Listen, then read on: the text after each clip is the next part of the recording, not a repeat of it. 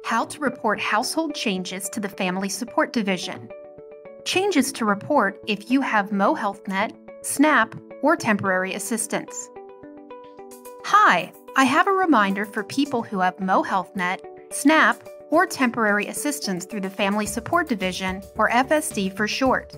Whether you have one, two, or all three types of benefits, this information is for you. I have Mo MoHealthNet, SNAP, and temporary assistance. Okay. You'll need to know how to report certain household changes to FSD. This helps FSD make sure you're still getting the correct benefits for any assistance program you're in. What changes do I need to report and when? By law, you need to report any of the following changes in your household within 10 days of when they happen. Changes in your contact information, such as your address, phone number, or email address.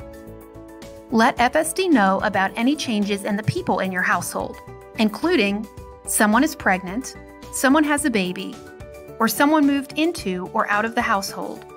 Report changes that raise or lower your income, such as changing jobs.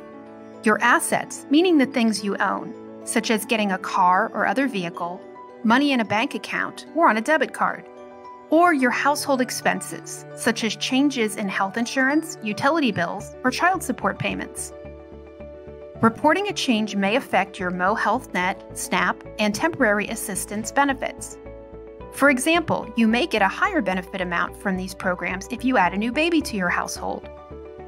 Or, reporting a change could lead to a lower benefit amount from these programs, such as if you no longer qualify because of a new job that raises your income. The important thing is to report these types of changes to FSD. If you don't, your MoHealthNet, SNAP, or temporary assistance benefits could stop. Okay, I understand what changes to report and to report them within 10 days of when a change happens. Now I need to know how to report a change. Sure. You can report a change to FSD in any of these three ways. Online, visit mydss.mo.gov and click on Report a Change.